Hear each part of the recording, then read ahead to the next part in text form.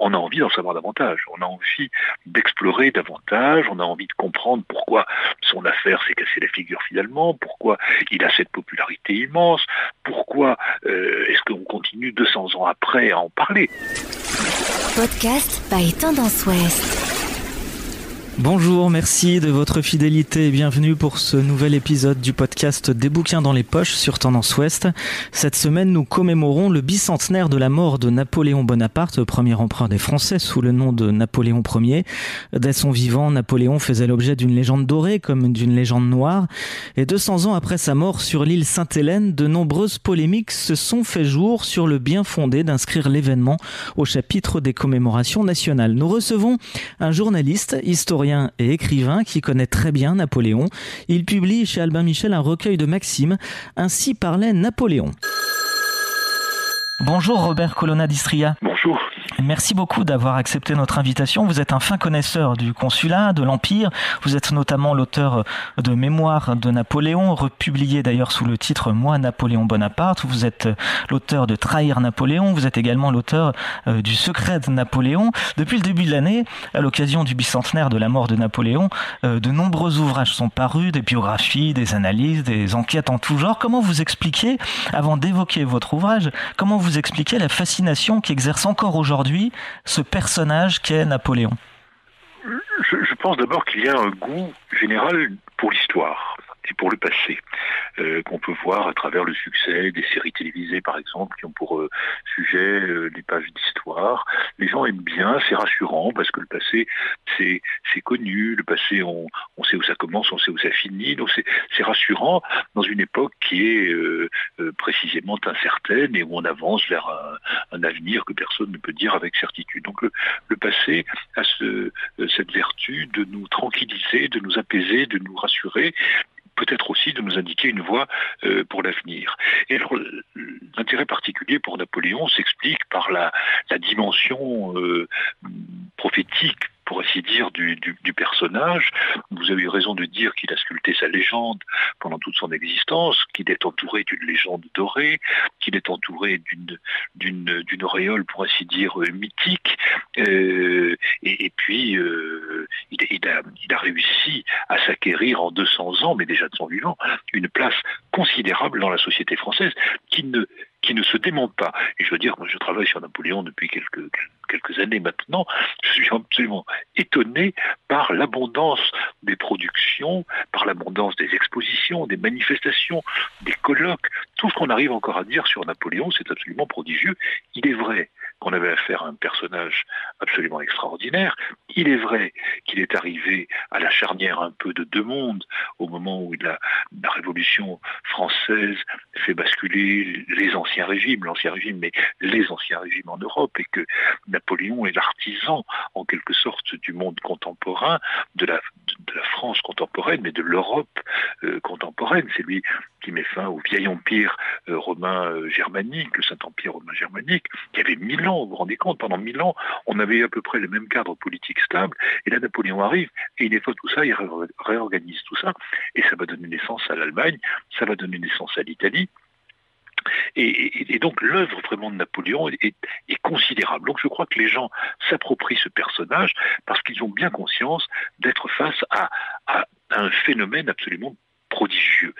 Je, publie euh, chez, Albin Michel ce petit livre, Ainsi parlait Napoléon, qui est un recueil de, des, pensées, deux pensées, pas, pas de toutes les pensées, mais deux pensées, d'aphorismes, de maximes de Napoléon. Et c'est vrai qu'on est bluffé, c'est-à-dire qu'on est en présence. Ah oui, et, sur tous les sujets, hein. on va rentrer d'ailleurs. On, va rentrer dans ce, dans ce recueil euh, que, que vous publiez chez Albin Michel. Juste avant, euh, Robert Colonna d'Estria, mais je crois on l'a compris, hein, euh, vous aimez ce personnage historique, unique, avec un destin hors norme. Quelle est l'origine chez vous de, cette admiration? C'est pour toutes les raisons que vous venez d'évoquer? Si vous voulez, moi j'ai commencé à travailler sur Napoléon sans intérêt particulier pour lui. C'est-à-dire que, d'accord avec un éditeur qui s'appelait de façon très prémonitoire les éditions France Empire, qui n'existe plus aujourd'hui, euh, euh, on discute et, l'éditeur me propose d'écrire une vie de Napoléon pourquoi pas, ça, m'intéresse, mais après tout, je ne connaissais pas particulièrement Napoléon et je n'avais pas d'attirance particulière pour le personnage, ni non plus pour la, pour la période. Enfin, je m'y suis mis parce que, parce qu'après tout, c'était un, sujet riche et, j'ai beaucoup travaillé là-dessus. Et là, j'ai été conquis. Là, j'ai rencontré un personnage qui avait toute une série de qualités euh, intellectuelles, qui avait une, un parcours euh, prodigieux, mais surtout qui avait une qualité très précieuse, c'est qu'il était très séduisant. C'est-à-dire que euh, j'ai rencontré quelqu'un qui était drôle, qui était malin, qui savait tenir compte des gens. alors il était un peu manipulateur, il savait euh, euh, tirer des ce qu'il avait envie d'en obtenir. Mais enfin, quand on travaillait autour de Napoléon, autour de lui, à travers les mémoires de ses collaborateurs, à travers ses, mots, à travers ses paroles, on était séduit, forcément séduit. Et ce phénomène-là est un phénomène qui a frappé tous ceux qui ont approché Napoléon.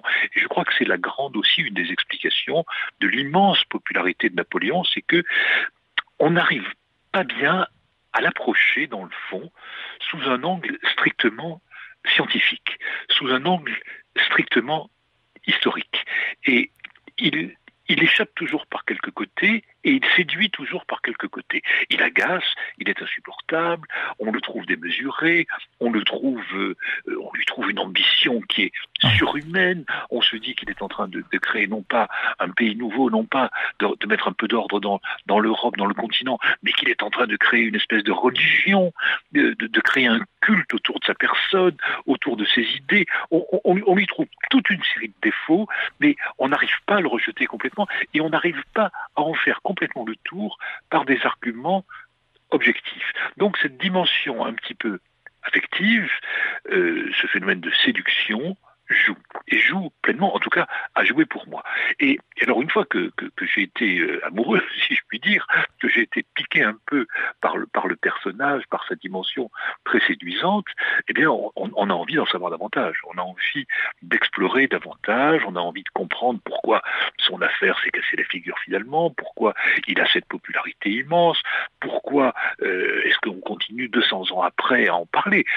Et c'était l'objet en particulier de mon précédent bouquin, Le secret de Napoléon, qui vient de sortir aux éditions des, des Équateurs, où j'ai choisi de refaire un voyage en Europe sur les pas de Napoléon et de voir un petit peu à chacune des étapes euh, de, la trajectoire de Napoléon, un petit peu l'œuvre qu'il avait laissée et surtout l'image qu'il avait laissée. Et, c'est absolument éblouissant, c'est-à-dire qu'on trouve, on va à Venise, on trouve un palais Napoléon, le pavillon Napoléon sur la place Saint-Marc, pas, n'importe où. Euh, on va à Vienne, dans le palais des Habsbourg de Schönbrunn, on trouve, on vous montre la chambre de Napoléon. Euh, vous allez à Pologne, il y a le, château où a dormi Napoléon. Euh, en Croatie, les gens euh, continuent à révérer Napoléon parce que c'est lui qui leur a donné leur système éducatif. En Slovénie, il y a un monument à Napoléon à Ljubljana, la capitale, parce que c'est le premier qui a, qui a donné un statut officiel à la langue slovène. Et voilà, donc, euh, si vous voulez, c'est impressionnant de voir comment l'œuvre de ce personnage est, est, présente. Et, alors, et, son œuvre est présente dans notre vie quotidienne, aujourd'hui encore d'ailleurs. Absolument, absolument. C'est lui qui a, organisé sur le plan juridique le, le, le, code civil, c'est lui qui a réorganisé le système éducatif français dont, dont la carcasse et dont la carcasse a, été dessiné à l'époque de Napoléon. alors justement, Robert euh, Colonna d'Istria, on, peut dire que c'est l'un des pères fondateurs des institutions contemporaines françaises sur lesquelles nous, nous vivons encore. Je pense, au, vous le disiez, au Code civil de, 1804, la création des préfets, de la Banque de France, du Conseil d'État, euh, des lycées, j'en passe. Il a réformé en profondeur l'État, en tout cas peut-être. D'ailleurs, depuis lui, l'État n'a jamais été aussi réformé. Et pourtant, ce même État le commémore avec une grande frilosité, je trouve. Comment on explique cela? C'est cette ambivalence de quelqu'un que l'on adore, euh, mais que l'on adore détester aussi? Bah, Si vous voulez, il a une caractéristique d'abord Napoléon. La première, c'est qu'il est un homme politique. Et donc en tant que tel, depuis qu'il est apparu, il est l'objet de critiques. Comme tout homme politique est l'objet de critiques. Alors, quand il est arrivé, si vous voulez, il, avait deux blocs ennemis contre lui. D'une part, les gens, les tenants de l'Ancien Régime, qui lui reprochaient d'incarner l'idéal révolutionnaire, et d'autre part, il avait contre lui les tenants de la Révolution pure et dure, les Jacobins, qui trouvaient qu'il avait confisqué le pouvoir qui avait été euh, mise en scène par les révolutionnaires. Donc c'est ces deux blocs ennemis euh, qui sont en gros les républicains, en gros les monarchistes, Napoléon les a contrôlés pendant tout son, tout son régime. Et je dirais que cette opposition se perpétue jusqu'à aujourd'hui. Et, donc Napoléon a toujours été sur la sellette. Il a toujours été sur la sellette et, l'objet de, de critiques parfois passionnées et par ses deux bords antagonistes. Alors, ça a toujours été comme ça. C'est-à-dire qu'à la fois, on se dit qu'il est incontournable, et en même temps, on, lui trouve toute une série de défauts. Alors les gens de droite ne veulent pas trop défendre Napoléon, parce qu'ils se disent, oulala, ça symboliserait un peu, il symbolise un petit peu l'homme providentiel, exactement ce que nous ne voulons pas être. On ne veut pas échapper à, on veut échapper à ces critiques-là. Ne, ne, défendons pas trop Napoléon, pas trop que nous aimons Napoléon. La position caricaturale là-dessus, c'était M. Chirac qui, a décidé d'aller fêter la défaite de Trafalgar et, pas la victoire d'Austerlitz. Voilà. C'est-à-dire qu'on est en plein, absolument en plein délire. Et les gens de gauche, au contraire, reprochent à euh, Napoléon d'avoir un peu confisqué les idées de la Révolution, alors qu'en réalité il n'a fait que les, que les habiller, que les rendre viables, d'avoir confisqué les idées de la Révolution en, en retrouvant l'esprit et un peu les institutions de l'Ancien Régime. Hmm. Euh, Quand vous dites qu'il a rendu viable les idées de la Révolution, on peut presque dire même d'ailleurs que c'est lui qui a concrétisé la Révolution. Absolument, absolument, absolument, absolument. Cependant qu'il a concrétisé cette, cette révolution avec des institutions qui étaient celles de l'Ancien Régime. C'est-à-dire qu'il recrée en même temps une nouvelle dynastie euh, héréditaire. C'est-à-dire qu'en même temps, il recrée une noblesse. C'est-à-dire qu'en même temps, il recrée une étiquette de la cour qui était typiquement, vous savez, quand, il épouse Marie-Louise, qui est la descendante des Habsbourg, et Habsbourg, ce n'est pas rien, c'était une, une, famille régnante depuis des siècles, et il savait ce qu'était le pouvoir, il savait ce qu'était la force du symbole. Eh bien, quand cette brave fille épouse Napoléon, elle passe de la cour de Vienne à la cour de, Paris, à la cour impériale de Napoléon. Elle se dit, ouh là là là là là là, mais qu'est-ce que cette étiquette est stricte, est austère. C'est-à-dire que Napoléon avait créé une étiquette à la cour, avait créé des usages qui étaient beaucoup plus rigoureux que ce que la fille avait connu à la cour de son papa, empereur Habsbourg. C'est extraordinaire. Et donc ça, les, tenants de la Révolution, vous savez, à l'époque où tout le monde s'appelait citoyen, euh, où tout le monde était frère, euh, c'était compliqué. Et, Napoléon, c'est toute l'ambiguïté de Napoléon, c'est son charme, c'est ce qui le rend insupportable. Il, tient un peu de tout le monde et son système, c'était le système de l'amalgame. Il voulait mélanger tous les éléments de la société française dans une seule société. Il a une grande liberté finalement. Il, il, a une très grande liberté, une très grande liberté de, de, de, fonctionnement. Et de, et de pensée, ouais et, de penser, une très, très grande liberté de penser et de fonctionnement aussi. Vous savez, avec, avec son épouse, sa première épouse Joséphine, il a, on a parlé du style empire, le style, bon, alors on en retient le caractère un peu raide des meubles, euh, du mobilier, voire en architecture. Mais en fait, il avait euh, le souci, avec euh, son épouse, de promouvoir un style dans la vie quotidienne, dans les maisons.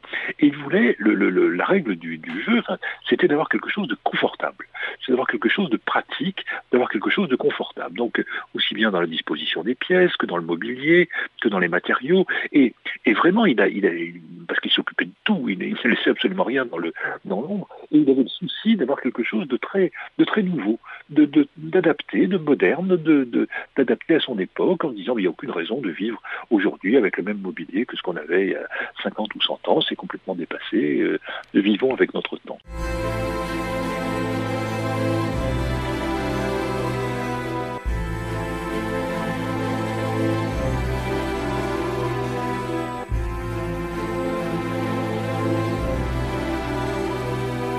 Podcast by Tendance Ouest.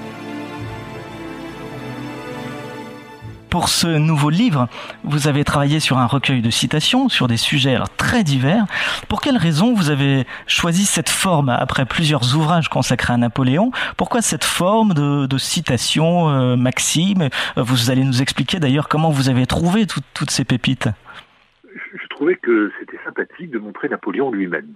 Napoléon tel que euh, l'extrait de sa pensée, parce que ça montrait d'abord l'extrême variété de son, esprit, qui s'occupe, qui est capable de théoriser sur la guerre, sur la diplomatie, sur le pouvoir, sur les femmes, sur la mode, sur le, qu'il y a des recettes pour les hémorroïdes, qu'il y a des, a des recettes pour, pour, absolument tous les aspects de l'existence, qui est capable de faire des portraits au vitriol des uns et des autres, mais toujours juste, toujours positif. Donc je trouvais que c'était intéressant de le montrer euh, euh, tel qu'en lui-même et que ça donnait finalement de, du personnage et de son œuvre une, image qui était, euh, qui, qui, était intéressante. Alors, euh, comment j'ai travaillé ben, euh, Comme je travaille depuis fort longtemps sur, euh, sur, sur l'époque et sur le personnage, j'ai eu le temps de noter toute une série de réparties euh, éblouissantes souvent, parce que Napoléon est quelqu'un qui avait beaucoup d'esprit. Et, et, alors, il a passé sa vie, si vous voulez, Napoléon, à, à, à, employer ses formules, mais il les travaillait pas. Elles sortaient de son esprit comme ça. Et, c'est fulgurant. Hein, elles sont assez fulgurant. définitives la plupart. Ah oui, c'est fulgurant, c'est éblouissant et c'est intelligent. Je dis, mais c'est, drôle, parfois c'est cruel. Euh, il, avait un esprit fou, quoi. Et, là, ces formules, je trouve, sont, sont, sont extrêmement drôles, cruelles, justes. Et il y, a, il y a des leçons à en tirer. Euh, c'est marrant. Et donc, alors, mais si vous voulez, j'ai un peu fouillé parmi tous les mémorialistes, tous les gens qui, avaient pris des notes soigneusement de, de, ce que racontait Napoléon, aussi bien pendant sa période d'activité, si je puis dire, euh, tant qu'il était au pouvoir jusqu'en 1815, que euh, dans ses dictées de Sainte-Hélène, où il a passé plusieurs années à appliquer son intelligence à, raconter sa vie euh, et à dicter cette vie, à dicter ses pensées, à dicter ses souvenirs à, ses compagnons de, captivité. Est-ce que l'on peut, euh, Robert Colonna d'Istria, euh, définir la, pensée de Napoléon En tout cas, est-ce que vous, vous pourriez définir en, quelques mots la pensée de, Napoléon euh, comme une synthèse euh, de ce ainsi parlait euh, Napoléon? C'est très compliqué. C'est très compliqué parce que Napoléon est, un, être qui, comme nous tous, enfin, comporte de nombreuses facettes.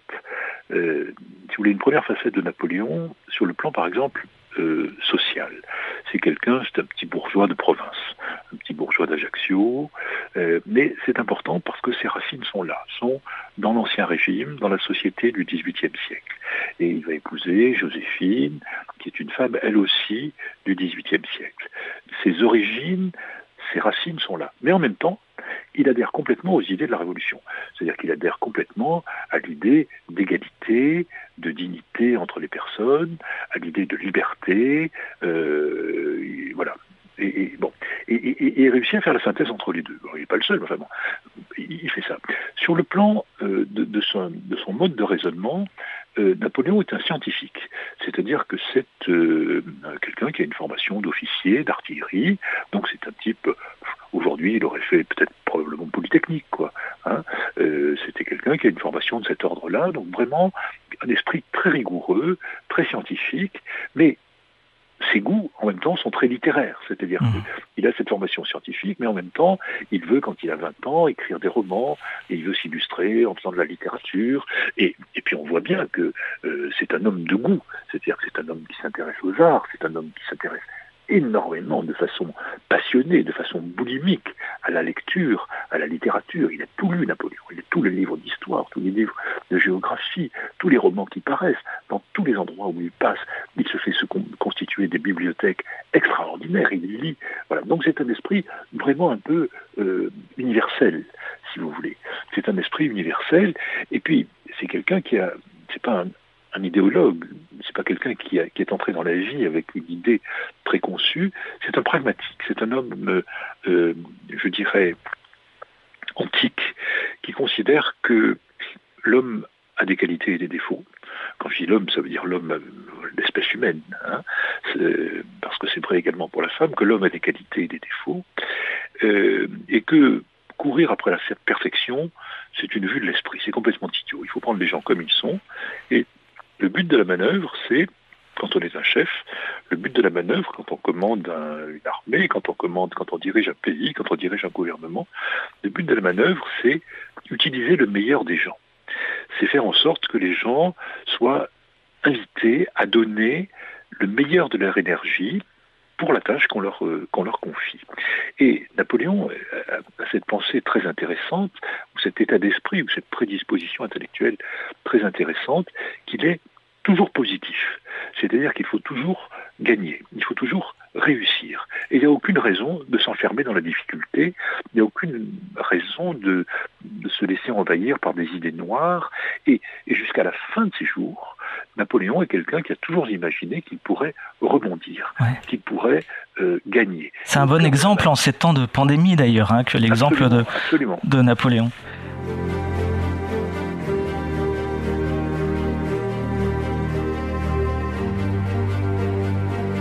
Podcast by Tendance Ouest.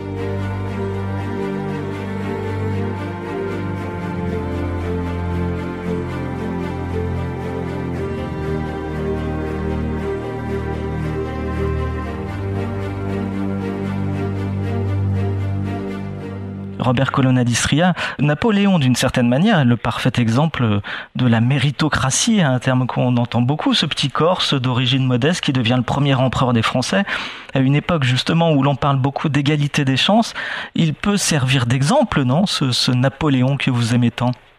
Ah ben certainement, certainement. Il disait à tous ces, soldats, euh, pour parler du chef de guerre, euh, vous avez tous un bâton de maréchal dans votre besace. C'est à vous de, jouer. Quoi. Vous pouvez tous devenir maréchal de France. Et d'ailleurs, les maréchaux qu'il a nommés, euh, maréchaux d'empire, tous les maréchaux qu'il a nommés étaient tous des gens qui, enfin, étaient beaucoup d'entre eux des gens vraiment sortis du rang, c'est-à-dire sortis de conditions très très modestes. et ça, c'est, je pense, également un facteur de la popularité de Napoléon. C'est-à-dire que euh, tout le monde peut, euh, dans son domaine, sans prétendre évidemment devenir empereur d'Occident, euh, tout le monde peut dans son domaine se prendre un peu pour Napoléon. C'est-à-dire, je, je pars de pas grand-chose, mais, mais si, je, si je joue bien mes cartes, si j'utilise bien le jeu qui m'a été distribué, pourquoi est-ce que je ne deviendrai pas moi aussi très haut? Je n'arriverai-je pas moi aussi très haut là où je, là où je suis quoi. Merci beaucoup Robert Colonna d'Istria. Merci beaucoup d'avoir accepté notre invitation euh, pour évoquer cet ouvrage Ainsi parlait Napoléon, un recueil euh, de maximes euh, que vous signez chez Albin Michel. Merci, au revoir. Merci monsieur, au revoir. Podcast by Tendance Ouest.